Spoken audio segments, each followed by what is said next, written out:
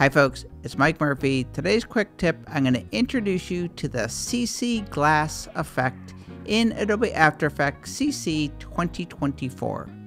You can use the CC Glass effect if you want to make text or graphics look kind of like glass or porcelain. I'll also show you how you can use CC Glass effect to create almost this electrical tape look that you see here on the logo, as well as the background, which I think looks like a shaggy carpet. And finally, I'll show you how you can use CC Glass to create this effect that looks like a text or logo or any graphic is pushing through the background layer. So first, I'll select the text layer in the Layers panel, then go to the Effects and Presets panel. I'll click in the search field and I'll just start typing out glass. So with the text layer selected, all I need to do is just double click on the effect and with the text layer still selected, you're going to go to the Effect Controls panel where you can customize the CC Glass effect. Just twirl it open, there you'll see all the properties. And if you want to do it before and after, just click on the FX next to the CC Glass name. There's the before, and there's the after. For the CC Glass effect, you'll probably spend most of your time customizing in the surface section. Bump map we'll look at in just a second. Softness, you're going to see it's going to give kind of more of a rounded, bubbled look. And to sharpen the edges, if you lower the displacement, you see the edges will get sharper. Or you can increase it. And now for the second example. So first, I added a logo. Then I added a shape.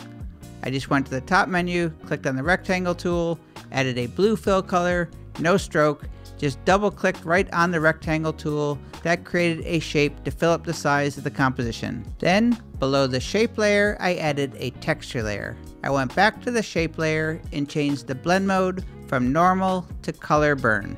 I added two solid layers each with the fractal noise effect. So I just right clicked in the layers panel, went to new, solid, made it comp size, clicked OK, went to the effects and presets, did a search for fractal noise, and dragged the fractal noise onto each of those solid layers. I added the CC glass effect to the logo layer by selecting the logo, going to the effects and presets, searching for glass, and dragging the CC glass effect on the logo. Then in the effect controls panel, you will see once the CC glass effect is added, it gets that glassy porcelain look, but when you twirl open the effect, twirl open surface, the key here is the bump map. This is going to really harness the power of the CC Glass effect. I'm going to click on this drop down and I'm going to choose one of the fractal noise layers that we created and then go right next to the bump map layer and choose effects and masks and now you can see whatever you select here is going to really drive that effect along with the settings that you change in CC Glass effect.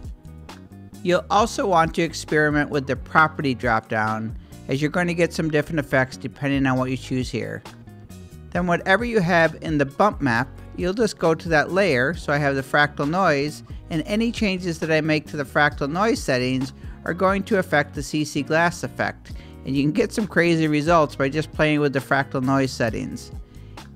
And I animated it by holding the option key and clicking on the stopwatch for evolution, and I just type out the expression time times 100 so now I've got the logo moving. And to create the shaggy rug background, I selected the shape layer, added the CC glass effect, went to bump map, and I selected the second fractal noise layer. I just customized the settings and came up with this kind of unique look in the background that I thought was cool. And I added some movement to the background layer in the same way. I just went to the fractal noise layer, press Option or Alt, click on the stopwatch next to evolution, then I just added the simple expression time times 100. And for the last example, where it looks like the text of the logo is pushing through the background layer, I'm going to select the shape layer, which already has the CC glass effect on it. I'm just going to hide the visibility of this logo. Then I'm going to go to bump map. Instead of choosing one of the fractal noise layers, I'm going to choose whatever I want to push through the background. So I'll start with the text and just like that, you can see the text is now protruding through the background. Pretty cool. If I change the bump map again to the logo, the same effect, then customize to your heart's content. And that is the CC Glass effect in Adobe After Effects CC 2024. My name is Mike Murphy. Cheers.